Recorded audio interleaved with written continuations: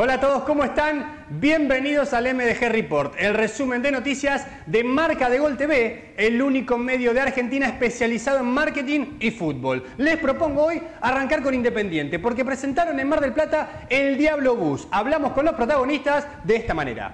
Independiente de Avellaneda presentó el Diablo Bus, una sede itinerante que recorrerá todo el país para que el club se relacione más y mejor con sus socios y simpatizantes.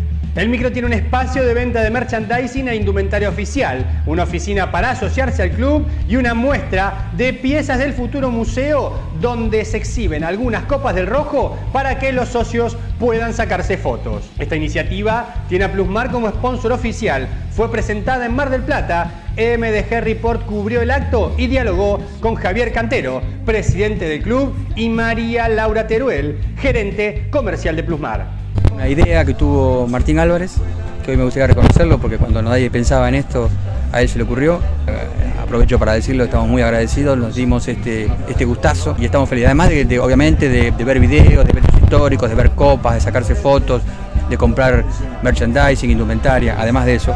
Pero creo que lo fundamental es hacerse socio. Los hinchas, los socios, los futuros socios ya llevamos unos 15, 20 minutos y ya se hicieron más de 50 socios, así que eso está muy bueno, sentirse parte del club y apoyarlo. Este, así que bueno, muy contenta y que Plusmar sea la transportadora independiente, por, por supuesto, doblemente contenta. Y nos quedamos en Bar del Plata. Seguimos en la costa porque además del Diablo Bus se presentó la pelota oficial del torneo argentino. Un equipo de marca de gol estuvo allí y te trae todo. El fútbol argentino tiene una nueva pelota, Adidas Tafugo. La marca alemana presentó el balón oficial con el que se jugarán los torneos de AFA durante el 2013. Tafugo es la síntesis de tres grandes pasiones argentinas, el tango, el fútbol y los goles. El debut fue en el empate entre Boca y River en Mar del Plata por el torneo de verano. Tiene un diseño más moderno y con un nuevo color celeste eléctrico en reemplazo del azul clásico que tenía el balón anterior.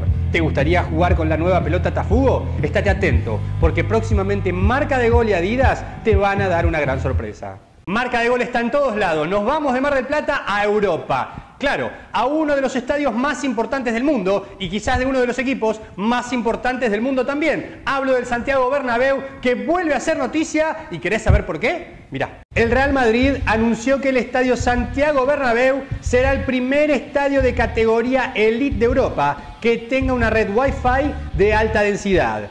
Así, el club español pretende prestar servicios diferenciales como el video en directo, estadísticas del partido o acceso a Internet, entre otros, que mejoren la experiencia de los espectadores que estén en el estadio con dispositivos móviles como teléfonos, tablets o computadoras. Esta plataforma, que tiene instalados más de 500 antenas última generación, ofrecerá cobertura total y podrá distribuir contenidos en HD en los más de 700 televisores distribuidos por toda la cancha. El uso de esta red de Wi-Fi por parte de los espectadores tiene un segundo efecto beneficioso. Mientras más hinchas la usen, más se liberarán las redes de telefonía móvil, que solían saturarse completamente cada vez que jugaba el Real Madrid.